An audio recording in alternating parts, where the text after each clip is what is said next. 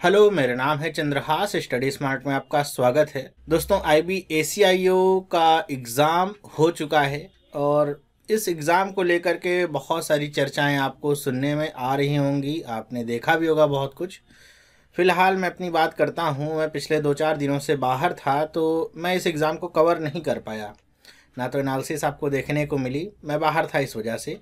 लेकिन जब से मैं वापस आया हूँ, तब से इस, इसी एग्ज़ाम को लेकर के बहुत सारी चर्चाएँ हैं। मेरे मेल पर भी बहुत सारे बच्चों के मेल आ रहे हैं इसी एग्ज़ाम को लेकर के। और मैं देख रहा हूँ फेसबुक पर भी बहुत सारे मैसेजेस हैं ग्रुप पूरा भरा पड़ा है आईबी के एग्ज़ाम को लेकर के। तो मैंने सोचा इस पर मैं वीडियो बनाता हूँ, अपने विचार में आपके सामने रखता हूँ। अब एग्ज़ाम तो मैंने दिया नहीं है ये जो वीडियो होगा, ये आप लोगों के द्वारा जो बातें बताई गई हैं, उसी के आधार पर मैं बता रहा हूँ। हो सकता है इसमें कुछ बातें सही भी हों, हो सकता है कुछ बातें गलत भी हों, क्योंकि मैंने तो एग्ज़ाम दिया नहीं है। फिर भी यहाँ पे हम चर्चा करते हैं कि इस एग्ज़ाम को लेकर के क्या थी मुख्य समस्या जिसका सामना आपको करना पड़ा, जो कि देखा जा रहा है कि केवल एक दो लोगों के साथ नहीं थी वृहद तौर पे फैली हुई थी। मतलब बहुत सारे लोगों को इस समस्या का सामना करना पड़ा और इसका सोल्यूशन क्या हो सकता है कि इस समस्या से आपको थोड़ा सा छुटकारा मिल जाए। सारी चीज़ों पे हम चर्चा करेंगे इस वीडियो में।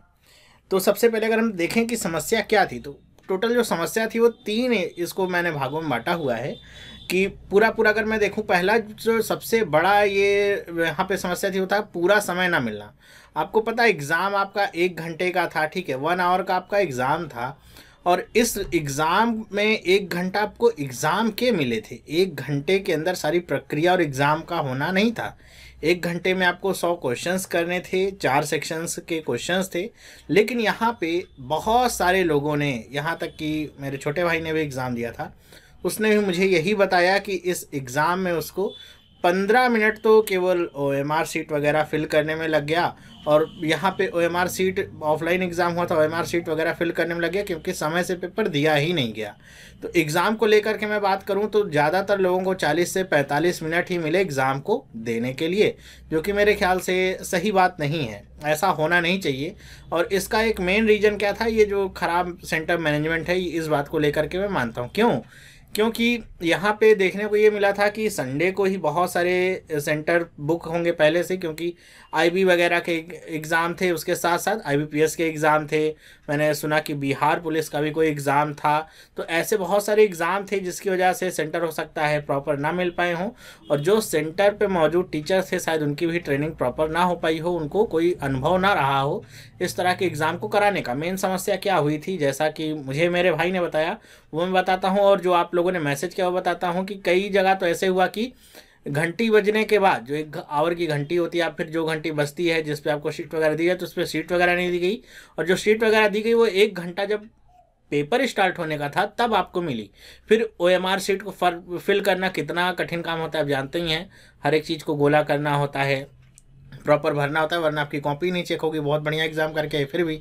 तो ये जो मेन समस्या थी थी कि और यहाँ पे एक समस्या और क्या थी कि ओ एम आर सीट जैसे आपको पेपर मिल रहा था, जो पेपर का नंबर होता है पेपर कोड होता है और ओ एम आर सीट का कोड होता है, दोनों मैच होना चाहिए। एक ही कोड के दोनों होने चाहिए, वरना आपको कैसे कॉपी चेक होगी, आपको समझ में नहीं आ पाएगा, आपका हो सकता है पेपर भी कैंसिल हो जाए, क्योंकि पेपर कोड आपका कुछ होगा, उसमें जो क्वेश्चन होंगे, वो आगे के पीछे होंगे। ओ एम आर कोड आपका कुछ होगा ओ एम आर कोड अगर आपका कुछ होगा तो आप पहले क्वेश्चन का आंसर अगर आपने बी टिक किया है पेपर कोड के हिसाब से, लेकिन एम कोड जिसका मिला होगा, उसमें वो क्वेश्चन पहला नहीं होकर के दसवां होगा तो आपने जो जो आंसर टिक किए वो सारे गलत हो जाएँगे। तो ओ एम आर कोड और पेपर कोड भी मिसमैच हो जा रहा था, क्योंकि टीचरों को प्रॉपर ट्रेनिंग नहीं मिली हुई थी। पेपर अलग बट रहे थे ओ एम आर अलग बट रहे थे, फिर उसको रोका जा रहा था कि रुकिए, आपका ये बदल गया है, फिर से उसको मिलेगा। तो ये सारी प्रक्रिया जो है, एक घंटे के अंदर भी जिसको कहा जा रहा था बाद में सेंटरों पर कि आपको पूरा बाद में प्रॉपर टाइम दे दिया जाएगा, जो भी टाइम वेस्ट हुआ, लेकिन मैंने देखा, ज़्यादातर जगह पर टाइम मिला नहीं, और जहाँ मिला भी, वहाँ पर दो या तीन मिनट से ज़्यादा का समय नहीं मिला, ऐसा आप लोगों ने बताया। तो काफ़ी, ये मुझे लगता है कि आईबी जैसे एग्ज़ाम को लेकर के ऐसा नहीं होना चाहिए तो काफ़ी प्रतिष्ठित, ये आपकी पोस्ट के लिए एग्ज़ाम था आईबी का एग्ज़ाम था तो ऐसा नहीं होना चाहिए था। और यहाँ पर जो दूसरा ही सबसे बड़ी समस्या थी, पहली और तीसरी समस्या को छोड़ करके था कि पूछे गए सवालों को लेकर के बहुत बड़ी समस्या थी। पूछे गए सवालों को लेकर के बहुत सारे मेल पास ऐसे प्राप्त हुए पता नहीं कितने सही हैं, कितने गलत हैं, क्योंकि अभी तक मैंने पेपर भी नहीं देखा है। अभी मैं जस्ट लौट के ही आया हूँ, बाहर गया था। तो मैं आपके सामने वीडियो बना रहा हूँ कि लोग कह रहे हैं कि किसी एक वेबसाइट से ही उस वेबसाइट ने जो अपने प्रैक्टिस के क्वेश्चंस वो लगातार पोस्ट करती रहती है, वहीं से जो पेपर था उसी को सेट कर लिया गया था और कहा जा रहा है कि टाइम एंड डिस्टेंस को लेकर के वहाँ पे पंद्रह से अठारह क्वेश्चंस मतलब मैथ में टोटल पच्चीस क्वेश्चंस पूछे जाते हैं और पंद्रह से अठारह क्वेश्चन है पंद्रह सत्रह क्वेश्चन केवल टाइम एंड डिस्टेंस को लेकर के ही आ गए थे। तो ये तो मेरे ख्याल से पेपर का जो फॉर्मेट था, ये भी गलत सेट था मतलब टाइम एंड डिस्टेंस एक ही पैटर्न या फिर एक ही टॉपिक को लेकर के इतने सारे सवाल पूछना, ये कोई सही पैटर्न नहीं होता है पेपर को लेकर के जहाँ तक मुझे लगता है। और जीके का क्वेश्चन जो आया था, जीके के भी क्वेश्चन में मेरे ख्याल से करंट अफेयर से ज़्यादा क्वेश्चंस पूछे गए थे। जीके के जैसे पैटर्न पूछे जाते हैं, वैसे आपके पूछे नहीं गए थे। तो ये जो पेपर को समस्या थी कि सवाल सही नहीं आए थे, कई सारे सवालों के जो आंसर थे वही गलत थे। मतलब ऑप्शन गलत दिए गए थे। हालाँकि उनको लेकर के कहा जा रहा है कि जो ऑप्शन गलत थे, उनके नंबर तो आपको पूरे मिल जाएँगे, लेकिन ये जो घालमेल हुआ है, ये कुछ सही नहीं है। तो मुझे यही लगता है कि जो तीन समस्याएँ हैं, इन्होंने आपको बहुत परेशान किया होगा आई के एग्ज़ाम को लेकर के। बहुत सारे बच्चों ने बहुत सारी मेहनत की थी एग्ज़ाम को लेकर के। हालाँकि मैंने 2012 में जो पेपर दिया था तो जो पेपर था, पेपर तो बढ़िया सेट था मतलब ऐसा कुछ नहीं था कि एक ही जगह से सारे सवाल पूछे गए थे। काफ़ी अच्छा पेपर आया था मतलब एक लेवल का पेपर था। और उस समय ऑफलाइन ही पेपर हुआ करते थे तो उस समय ही ऑफलाइन हुआ था। इस बार सोचा जा रहा था कि पेपर ऑनलाइन होगा, लेकिन पेपर हुआ ऑफलाइन और ऑफलाइन के बाद इतनी सारी समस्याएँ आई। अब बात आती है कि अब इस सारी समस्या को लेकर के किया क्या जाए। ज़्यादा से ज़्यादा लोगों ने 40 मिनट में कितने क्वेश्चंस किए होंगे? ज़्यादा से ज़्यादा 40 क्वेश्चंस किए हैं। 40 से 45 या 40 से 50 क्वेश्चंस कर पाए हैं। और यहाँ पे फ़ायदा उन लोगों को मिलेगा। अगर कहीं कहीं पे सेंटर अगर अच्छी जगह पर गया होगा, ऐसा नहीं है कि हंड्रेड सेंटर ही गलत गया। हर जगह ऐसा हुआ कि ख़राब मैनेजमेंट था, लेकिन अगर 10 परसेंट जगह पर भी सही सेंटर गया होगा जहाँ पे प्रॉपर एक घंटा मिला होगा बच्चों को और प्रॉपर हर चीज़ मिली होगी। तो ऐसे बच्चों का जो एग्ज़ाम होगा, उसमें जो पढ़ने वाले होंगे उनका एग्ज़ाम ज़ाहिर तौर पे अच्छा ही हुआ होगा।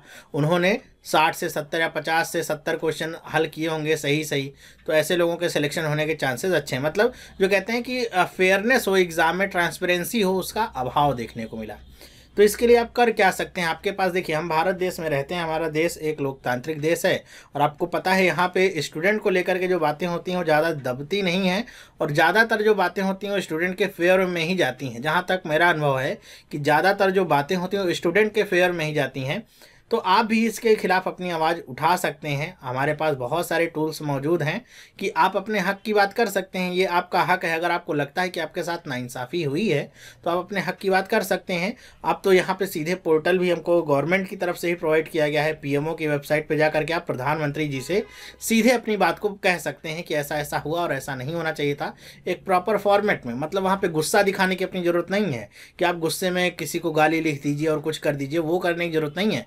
बल्कि अपने बात को सलीके से ढंग से वहाँ पे पेश करिए जिससे आपकी बात को समझा जाए और पढ़ा जाए। और जितना ज़्यादा से ज़्यादा आप इस बात को प्रचारित करेंगे, जितना ज़्यादा से ज़्यादा इस बात को आप ले जाएँगे, गवर्नमेंट के पास या फिर आपके पास न्यायालय का भी रास्ता है, न्यायालय के पास, उतने ही चांसेज हैं कि आपको न्याय मिलेगा, अगर आपको लग रहा है कि आपके साथ अन्याय हुआ है। पिछले हाल के दिनों में हमने देखा है कि अगर ऐसा एग्ज़ाम होता है, जहाँ पे ऐसा लगता है कि पेपर सही ढंग से नहीं हुआ, बहुत ख़राब था, मैनेजमेंट था, ऐसा नहीं था कि वहाँ पे जो पेपर के जो एक कहते हैं ना कि एक आ, कहते हैं स्टैंडर्ड प्रोसीजर होते हैं उनको फॉलो नहीं किया गया है तो वहाँ पे पेपर कैंसिल होते हैं फिर से पेपर होता है या फिर उसका कुछ और इलाज निकाला जाता है। तो वहाँ पे जब हुआ है तो आप अगर करेंगे तो आपके साथ भी होना ही होना है। तो आप भी अपनी कमर कसी और आप भी अपने हक के लिए लड़िए जिससे आपको अगर लगता है कि आपके साथ अन्याय हुआ है तो आपको ज़रूर न्याय ज़रूर मिलेगा इसमें कोई शक की बात नहीं है। तो मेरी तरफ़ से आपको यही सुझाव था।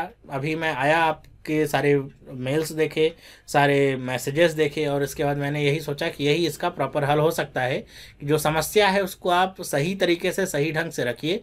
गवर्नमेंट के सामने रखिए, मोदी जी के सामने रखिए, प्रधानमंत्री हमारे हैं, उनके सामने रखिए, वो ज़रूर आपकी समस्याओं को सुनेंगे और उनका हल आपको ज़रूर देखने को मिलेगा। क्योंकि ये प्रॉपर जो एग्ज़ाम है वो किसी ऑटोनॉमस बॉडी के तहत नहीं, बल्कि ये एग्ज़ाम आपकी मिनिस्ट्री ऑफ़ होम अफेयर्स के तहत ही आती है। तो आप हमारे गृह मंत्री जो हैं, राजनाथ सिंह, उनके साथ भी अपनी बातों को शेयर कर सकते हैं।